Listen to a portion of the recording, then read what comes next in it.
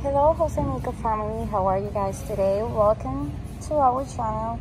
Um, I'm going to show you this new eyeshadow palette that we just got from Okalan. It's a Neon Splash um, 18 color shadow palette. It comes in a display of six pieces as you can see here. Six pieces and these ones are the 18 different colors that you have on the inside. You have some neon colors, some browns, red, purples, and pink. This is the presentation of the palette right here. And this is the display. It's already available on our website.